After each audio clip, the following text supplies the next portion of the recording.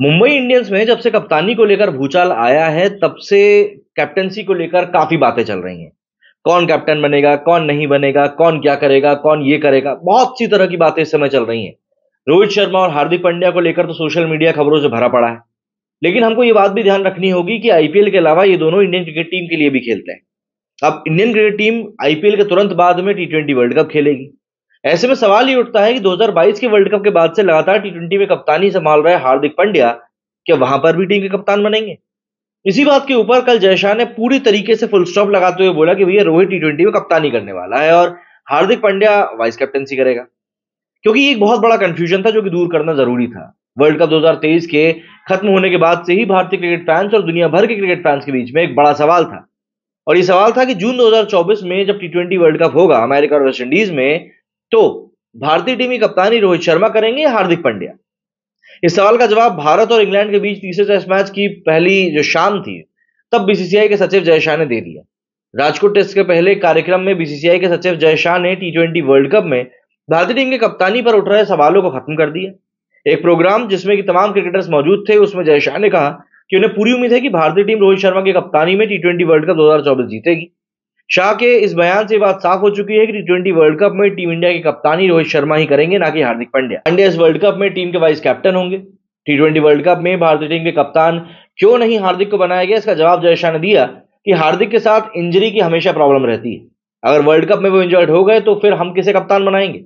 इसलिए वो vice captain रहेंगे। साथ ही बतौर कप्तान आपको रोहित की योग्यता पर कोई शक नहीं करना चाहिए। शाह के इस बयान के बाद में कप्तानी पर उठ रहे सभी सवाल खत्म हो चुके हैं। हार्दिक के साथ दरअसल इंजरी की समस्या उनके करियर की शुरुआत से ही है। वर्ल्ड कप 2023 के दौरान भी बांग्लादेश के खिलाफ मैच में उनको चोट लगी थी और वो टूर्नामेंट से बाहर हो गए थे। इस इंजरी के बाद वे ऑस्ट्रेलिया, साउथ अफ्रीका, अफ़गानिस्तान की सीरीज़ से ही बाहर रहे और सीधे आईपीएल में मुंबई के खिलाफ कप्तानी करते दिखेंगे। इस दौरान उन्होंने अनुबंधित खिलाड़ियों को लेकर बड़ी सलाह दी, जो इन दिनों जानबूझकर रणजी ट्रॉफी का हिस्सा नहीं ले रहे इस बारे में खिलाड़ियों को चेतावनी देते हुए कहा कि सभी कॉन्ट्रैक्टेड प्लेयर्स को फ़ोन पर बता दिया गया है और मैं उनको लिखने भी वाला हूँ कि अगर सिलेक्टर्स कोच या फिर कैप्टन चाहते हैं कि आप रेड बॉल क्रिकेट खेलें तो आपको खेलना होगा। रखने नहीं चलेंगे। और यहाँ तक कि ईशान किशन का सवाल है, वो यंग क्रिकेटर है, मैं उसके बारे में विशेष रूप से ये नहीं कह रहा हूँ, क्योंकि ये सभी खिलाड़ियों पर समान रूप से लागू हो रहा है। इसके अलावा उन्होंने सख्त एक्शन लेने की बात करते हुए अपने बयान में कहा कि हर किसी को खेलना होगा, वरना जो सिलेक्शन कमेटी के अध्यक्ष हैं, उन्होंने मुझे अपने सजेशंस दिए हैं और मैं उनका खुली छूट दे रहा हूँ कि वो अपने फैसले पूरी इंडिपेंडेंसी के साथ ले सकते हैं। इंग्लैंड के खिलाफ टेस्ट सीरीज़ के दौरान राहुल द्रविड़ एक प्रेस कॉन्फ्रेंस का हिस्सा बने थे, जिसमें उन्होंने कहा था कि ईशान को अगर टीम में शामिल होना है तो उसके लिए उनको रणजी ट्रॉफी खेलना होगा, और सब सीधी सी बात है, अपने फॉर्म को और अपनी अवेलेबिलिटी को स्पष्ट करना होगा। लेकिन ईशान ने उनकी बात मानी नहीं, वे अब तक घरेलू क्रिकेट टीम झारखंड के लिए नहीं खेले। इसके बाद कई विवादों ने जन्म ले लिया।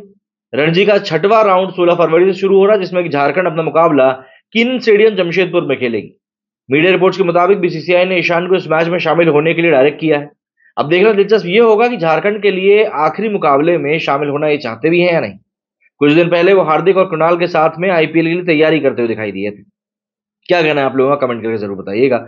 मेरे सुनिए फ़िलहाल उतना ही। जय हिंद, जय भारत।